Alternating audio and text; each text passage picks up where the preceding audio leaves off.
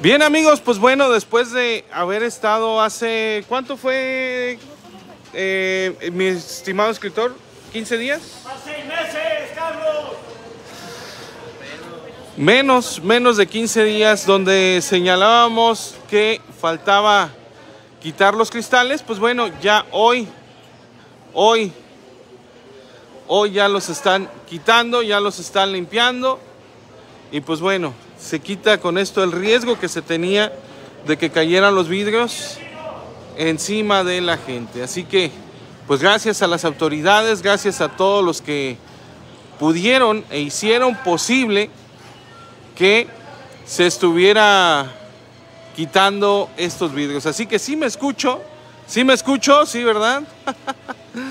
Bien amigos, pues bueno, mira qué bonito ya que se esté de alguna manera limpiando esta parte de los vidrios, esta parte del riesgo que presentaba para todos los que venimos al mercado. Ya se quitaron los vidrios, ya eh, se está pintando incluso la estructura. Yo espero que pronto se va a estar poniendo nuevamente los vidrios. Así que, pues ahí está.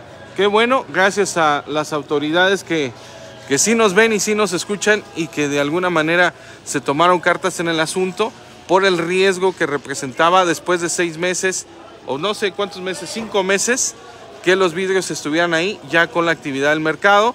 Ojalá pues también se pinte toda esta estructura, se ocuparán andamios, se ocupará lo que se tenga que ocupar, pero que se pinte, se impermeabilice, se, se vuelva a, a estar arreglando a estar dándole mantenimiento a este mercado tan emblemático de la ciudad de Jiquilpan, Michoacán.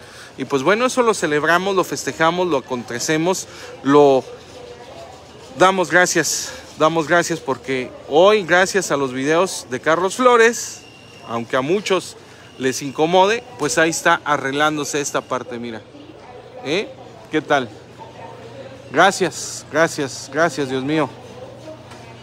Que permitiste que fuéramos escuchados y hoy ya se está quitando ese vidrio tan peligroso que estaba en nuestro mercado, ya se está limpiando, se está, eh, espero que se esté pintando y que se estén poniendo desde luego los vidrios. Faltan algunos todavía, faltan algunos, mira, tú puedes ver cómo pues le hace mucha falta, muchas cosas más por hacer a nuestro mercado, pero por eso en el video anterior que decía, tenemos que ser más exigentes en el presente, con todas las autoridades que vengan, colores que quieran.